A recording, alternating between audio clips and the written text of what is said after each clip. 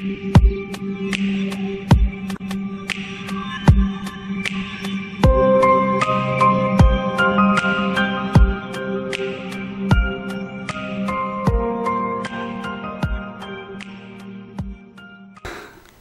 wunderschönen, da bin ich mal wieder, euer Odin und ich begrüße euch zu einem schnellen Vorunboxing hier. Das ist jetzt, warte ewig und jetzt kommt auf immer alles mit Mal.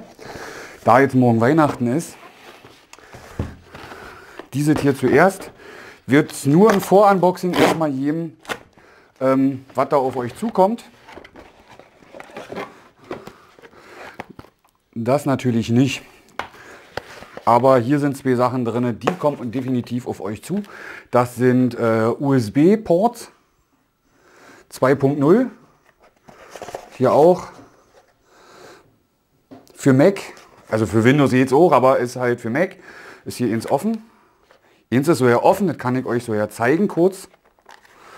Und das wird auch noch ein richtiges Unboxing. Hier seht ihr das wie schon mal dieses andere mit diesem Kartenleser, was ich euch gezeigt habe, das eine hat USB, das andere hat nicht USB. Äh, da wurde ich gefragt, ob ich die euch mal vorstellen möchte und ich habe gesagt, ja, klar, gerne, weil ich mit dem anderen ja schon sehr zufrieden war, was ich mir da geholt hatte, äh, was ihr bei Odin Shop gesehen habt, äh, also Odin war einkaufen.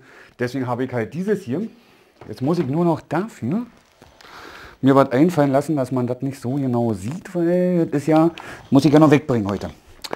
So, da muss ich mir jetzt jedenfalls auf jeden Fall gleich was einfallen lassen. Räumen wir das schon mal weg. Aber wisst ihr schon, was denn halt da drin ist, was auf euch zukommt.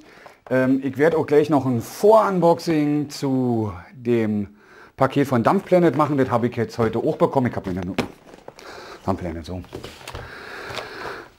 Ja, das wird auch noch machen. Das werde ich hier noch nicht machen. Da kommt dann später ein Unboxing, ein Vor-Unboxing oder ein komplettes Unboxing. Da ist ein Tank drin, das weiß ich, auf den ich schon sehr gespannt bin, der auch mit Keramikholz ausgestattet ist.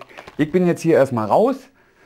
Vor-Unboxing ist da. Ihr wisst, nach der, nach der Feiertage jetzt, wie ihr gesehen habt, äh, gleich flüssig weiter. Gibt mir aber nach den Feiertagen erstmal ein bisschen Zeit, weil nach den Feiertagen fange ich erstmal an zu arbeiten und ich, den, das habe ich dann, dann werde ich die Videos, die ich jetzt mache, werde ich auch erst nach den Feiertagen oder vielleicht zwischendurch gucken, schnell mal bearbeiten und hochladen, dass ihr wisst, nach den Feiertagen jetzt weiter. Bis dahin, ahoi, sagt euer Odin.